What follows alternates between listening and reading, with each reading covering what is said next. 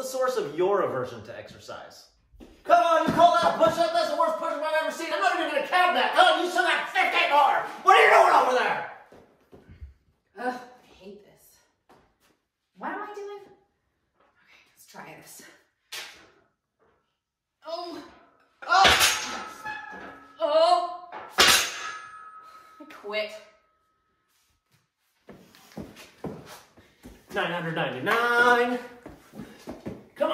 You got this. 1,000. See, we did. That was easy. Good warm up. All right, let's go run those 15 miles. Come on.